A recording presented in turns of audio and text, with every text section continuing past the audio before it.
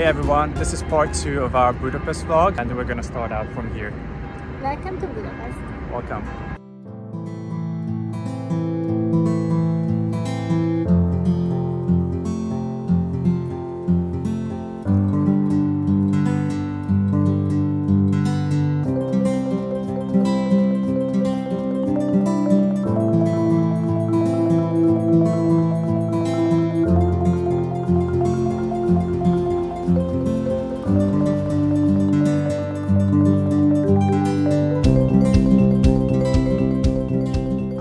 Decided to come to a place called the Várkert Bazaar, which is like a really gorgeous garden, very close to the Buda castle itself. Actually, it's literally right in front of it.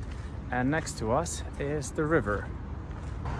I mean, quite honestly, this place is absolutely gorgeous. I mean, just have a look. And it's completely for free. So there's that. Do you like it? Yes. Yes. I think the person behind you also liked it.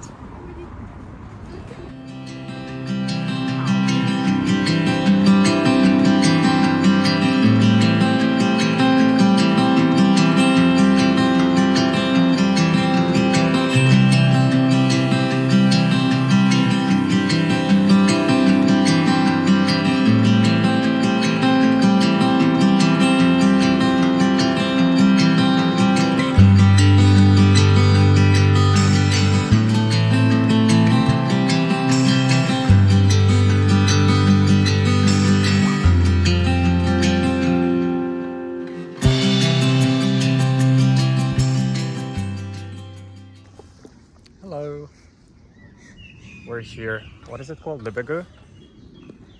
And we're a little bit scared. It's a little bit high up. this is pretty cool because uh, literally the guy, we just showed him the tickets and it was like, okay, stand on the yellow spot and this thing is not going to stop. It's just literally moving. So you have to be really ready. It's going to hit you on the bum.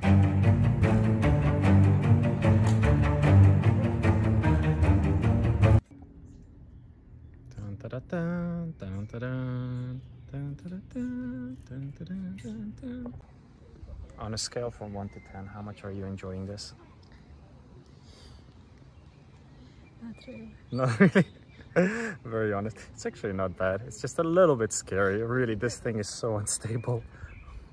But the view is gorgeous. As you can see behind me as we're going up higher, you can see Budapest.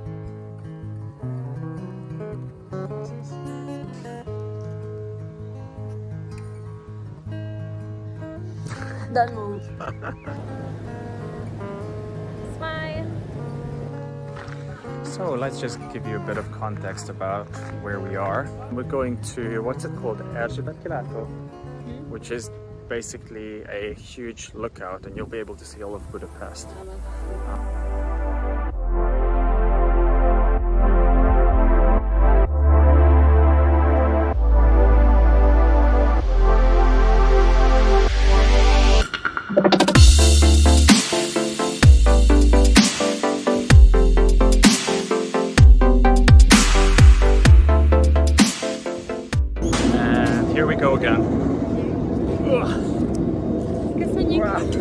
Nice. I got that on camera. Nice work. This is it. That's Budapest down there. Hey, it's the weekend, but I have to be in the office at the moment. Anyway, I wanted to drop a few lines about uh, the bikes that we're using. You've probably seen that we've been on this MOL Bubi bikes that you can rent out in Budapest. The reason for that is that they cost you 1,000 Hungarian forints per month.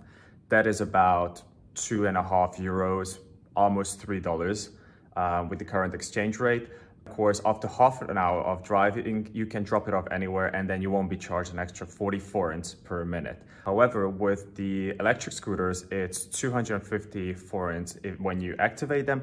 And on top of that, you have to pay 50 forints per minute. I know it's faster and it's cooler for short distances. It's pretty nice. But if you want to save money and you're here for a long period of time, such as a couple of weeks, or if you want to settle down here, then I would suggest that you take the Molbubi Unfortunately, I still got a lot of work left to do, but after I'm done with this, I'll grab my fiance, get on our MOL Bubi, and we're gonna head down to Hero Square and everywhere behind it that I missed out in part one. One hour later. Okay, I think I'm finally done. If you like this video, please give it a thumbs up. If you'd like to know more about Budapest and things here, uh, subscribe, comment. It's time for a unique Budapest montage. There we go.